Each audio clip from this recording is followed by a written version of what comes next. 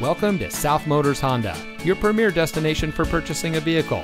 And here's a look at another one of our great vehicles in inventory.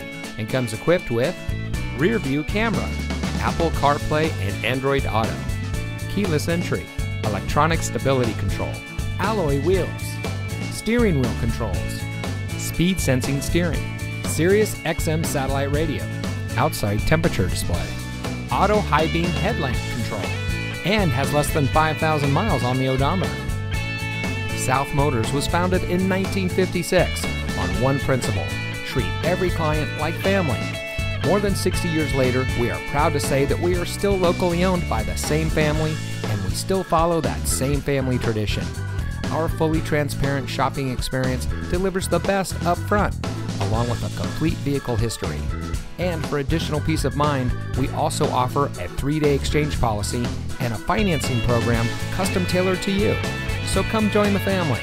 We're located at 16165 South Dixie Highway in Miami.